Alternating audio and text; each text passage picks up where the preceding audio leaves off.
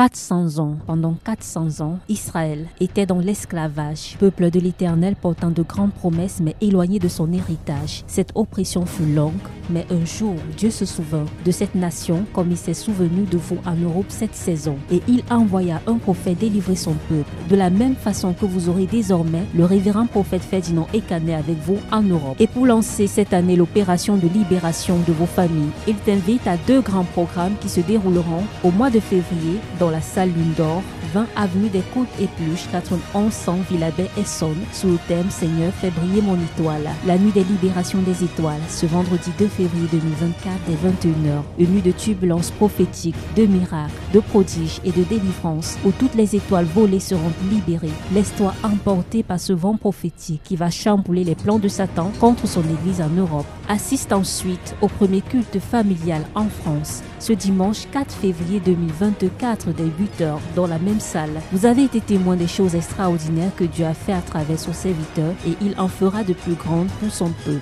Venez avec toutes vos familles pour être consacrés à l'éternel. Ayez vos offrandes familiales et votre huile de faveur. Il y aura également un grand service de ointe gratuite.